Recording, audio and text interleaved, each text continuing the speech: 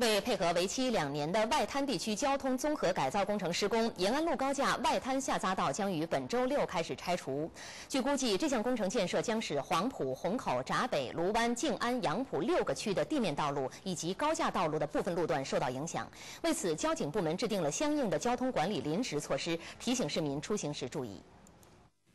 从本周六零点起，延安高架紫金路以东将禁止车辆通行。北侧外滩上匝道、南侧江西路上匝道、南北向两个外滩下匝道将全部关闭。中山东一路和延安东路的相关路段车道将大幅缩减。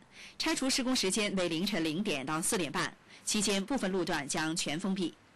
此外，南北高架东侧将全天禁止机动车由延东立交进入延安高架主线。内环线内圈由西向南驶入南北高架的车辆将受信号灯控制，以增加内环、中环东北段方向的车流量。南北高架西侧进入天目立交的出口关闭时间将由原来的七点到十九点延长为六点到二十二点。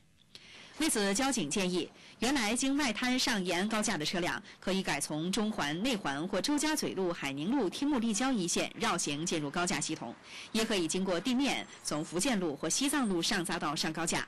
不过届时拥堵可能比较严重。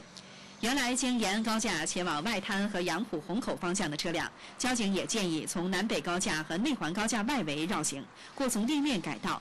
请驾驶员注意道路上的临时指示牌。记者李鹏报道。